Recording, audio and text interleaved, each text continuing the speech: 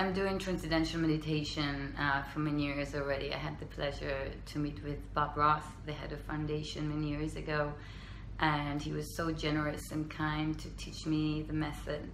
And I fell in love with it. It's kind of like a special secret place that you have between yourself that you can connect and feel inspired and get like um, actually rest in 20 minutes. So in days that you feel like jumping out of the roof, it's uh, a great solution to avoid it. And uh, I got so excited about it that I immediately recommended it for my brother and father.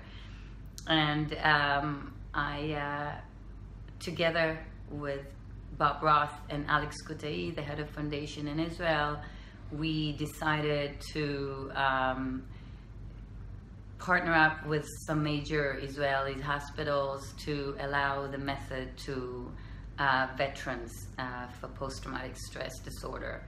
Um, so I'm really hopeful that very soon TM is going to be provided to uh, veterans, Palestinians and Israelis, veterans from around the world. So thank you, thank you, David Lynch, Amos, and uh, Bobby Roth, and Alex Kutai. Thank you so much.